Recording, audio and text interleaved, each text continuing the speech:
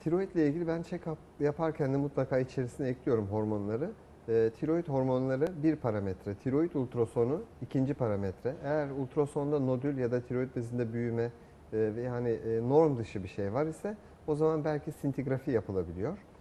E, diyelim ki içerisinde nodül tespit ettiysek de nodüllerde e, artık ultrason cihazları falan da çok gelişti. İçerisinde şüpheli hücre, mikrokalsikasyon dediğimiz küçük e, kalsiyum çökeltileri falan tespit ediyorlar ve tümörü işaret edebilir diye rapor geldiyse o zaman mutlaka da iğne biyopsisi yapıyoruz. Peki hocam orada tabii rapora göre tedavi aşamaları var. Tabii. Belki ilaç, belki cerrahi yöntem, belki hem cerrahi hem ilaç